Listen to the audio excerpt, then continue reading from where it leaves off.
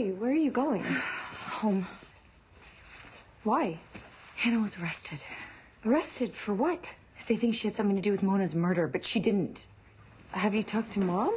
No, I, I don't want to wake her. I'm just gonna call her from the airport. Okay, uh, look, Spencer, I understand that you're upset and I get that you want to help Hanna, but I think it's better that you stay here. I can't stay here. I have to be there for her. What can you do? I don't know yet.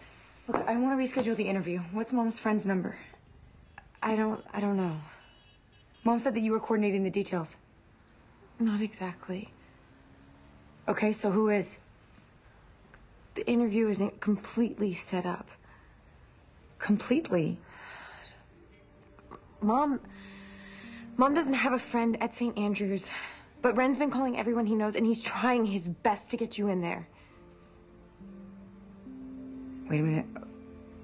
I'm sorry, let me get this straight. You and mom pretended that I had an interview? Mom found out that Alison was offered a plea bargain.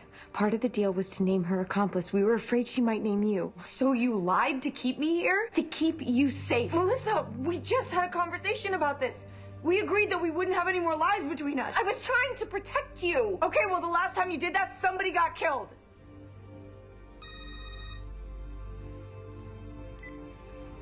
Hi.